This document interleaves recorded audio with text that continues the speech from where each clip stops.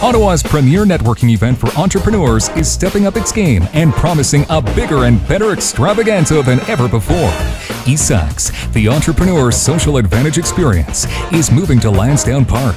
The bigger venue will host an even bigger trade show area, a separate section to listen to the speakers, and plenty of space to mix and mingle with Ottawa's business and community leaders.